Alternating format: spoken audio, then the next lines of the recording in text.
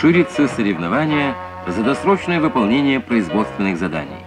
Таково требование времени и десятой пятилетки. В объединении Невский завод имени Ленина идет монтаж и испытание новой машины для нефтяников Тюмени.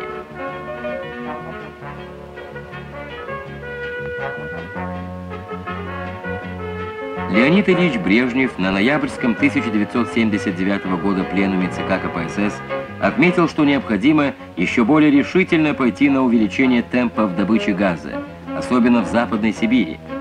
Невские машиностроители сделали все, чтобы сократить время изготовления компрессорного агрегата, который в два раза производительнее прежних. Напряженная сейчас здесь пора.